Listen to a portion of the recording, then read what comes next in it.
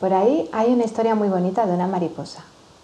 Las mariposas son en su primera etapa orugas que están en un capullo y luego tienen que salir por ellas mismas y se transforman en una delicada mariposa. En una ocasión una persona trató de ayudarla a abrir el capullo, ya que esto requiere de un esfuerzo tremendo por parte de la mariposa, que ha de salir del mismo.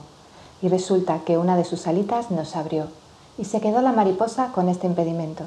La persona se afligió mucho y estuvo investigando el porqué de esta situación.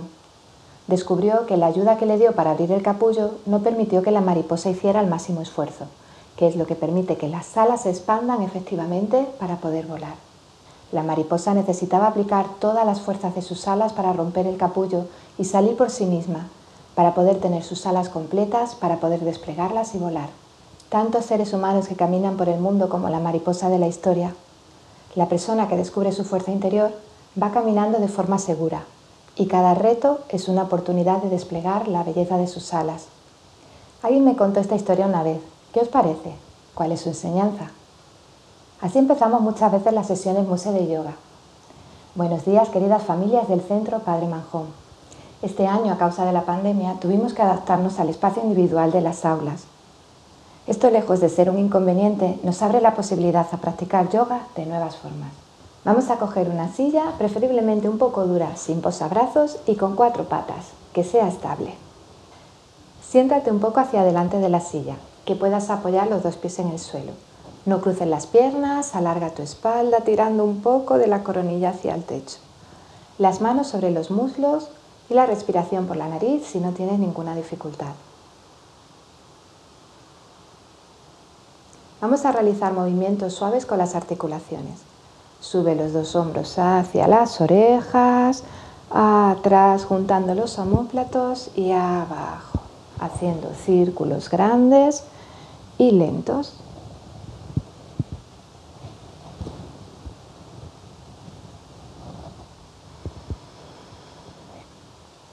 Extiende los brazos y giramos ahora las muñecas con la mano abierta, moviendo también los dedos.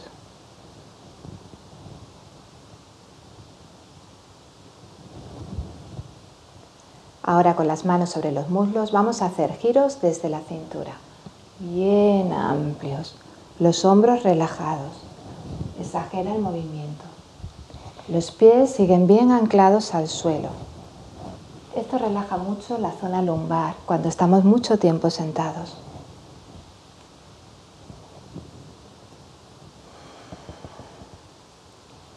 Crece de nuevo desde el asiento. Los brazos quedan ligeramente rotados hacia atrás y mucho esfuerzo. Relajados, lejos de las orejas. Y haz un par de giros suaves con la cabeza. Un movimiento pequeño hacia el lado que más te apetezca.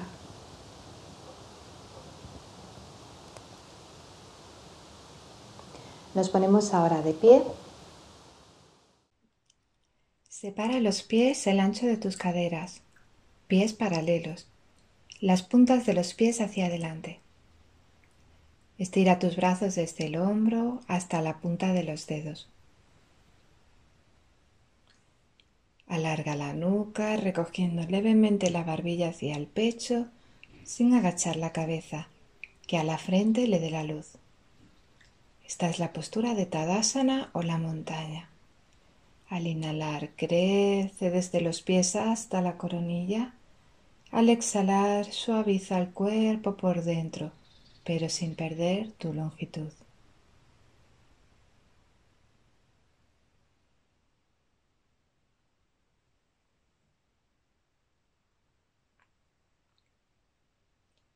Colócate ahora a un lado de la silla Vamos a hacer una postura de equilibrio.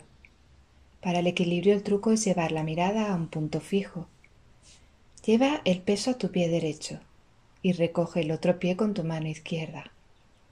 Si necesitas apoyo, lleva un dedito a la silla. Si puedes prescindir de él, eleva ahora el brazo por encima de la cabeza y lleva la mano como si tuvieras una bandeja. Esta es la posición de la firmeza. Trata de sostener la postura durante cinco respiraciones. Si en algún momento se deshace, lo volvemos a intentar.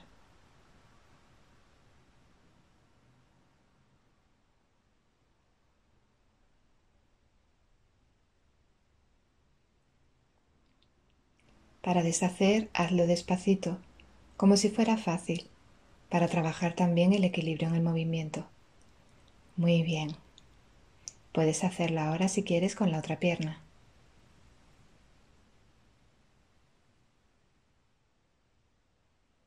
Volvemos a la postura de la montaña. Lleva brazos en cruz y desde ahí lleva las manos a las caderas con los dedos estiraditos. Alarga tu tronco creando espacio entre las costillas y las caderas y da un paso bien largo hacia atrás. El pie de delante queda apuntando al frente, el de atrás un poquito girado hacia adelante. Si ves que te resbalas, acerca el pie un poquito, hasta donde necesites. Gira ahora el tronco colocándote de lado. Abre bien el pecho y eleva tus brazos en cruz. Dobla ahora la rodilla de la pierna delantera hasta que no veas los deditos de los pies. La cabeza gira hacia esa mano, llevando la mirada más allá de tus dedos. Postura del guerrero 2, Virabhadrasana 2.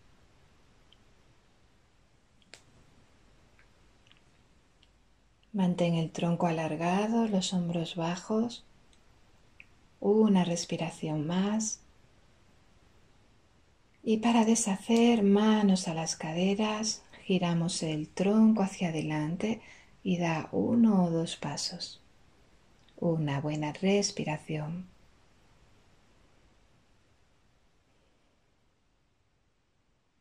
Nos sentamos ahora de lado en la silla. Lleva el brazo que queda por fuera delante del pecho a sujetarse en el respaldo. Eleva el otro brazo por encima de la cabeza y déjate caer un poquito hacia ese lado para estirar el costado. Es una variante de la media luna.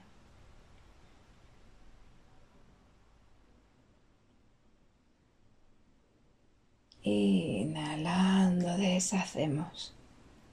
Si quieres puedes pausar y hacerlo ahora del otro lado. Nos sentamos hacia adelante en la silla. Separa un poco tus piernas y vamos a la hoja plegada. Apoya codos sobre las rodillas y las manos en la pierna contraria y redondea tu espalda. Deja que tu coronilla vaya hacia los pies.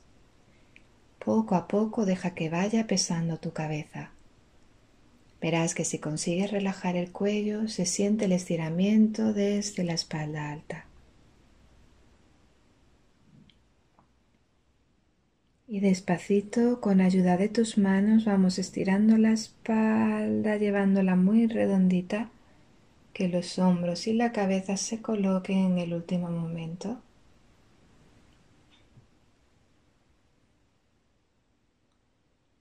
Una buena respiración.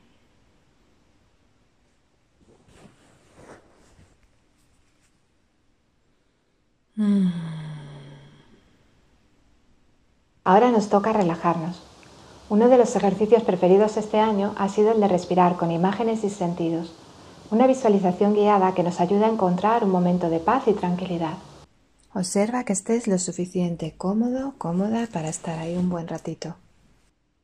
Empieza a crear en tu mente una imagen bonita de un lago con árboles, flores. Es un sitio precioso. Sientes el sol en tu espalda. Utiliza tu respiración como si fuera una varita mágica, que al respirar hace que la imagen se vaya volviendo más clara, más real. Ahora mira el color del lago, los tipos de árboles que hay alrededor. Observa las charcas en el agua Admira las flores que hay en la orilla. ¿De qué color son? Miras cada flor, una roja rosa,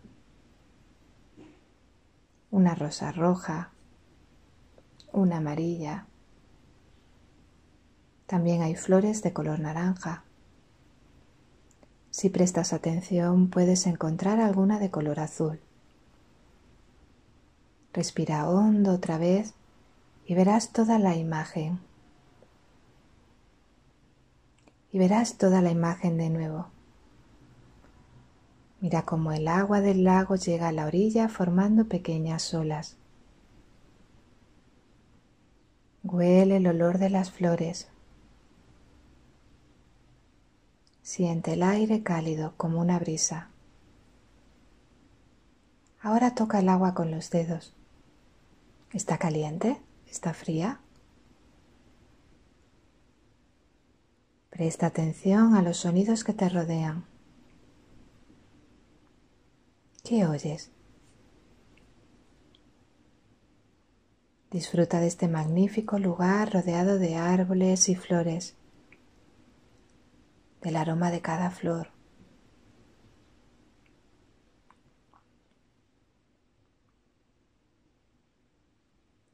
Ahora busca un camino. Ahora ya hay que despedirse. Es hora de volver a casa. Vamos caminando, damos un paso, dos, tres. Mira por última vez el paisaje como tratando de guardar su imagen como una fotografía. Y ya nos despedimos de este lugar. Y muy despacio empezamos a mover los dedos de las manos, de los pies, nos estiramos y hacemos una buena respiración. Espero que hayáis disfrutado la sesión. Deciros que he estado encantada de estar este año con vuestros niños y niñas. Así que me despido. En yoga decimos Namaste. Que tengáis un buen día.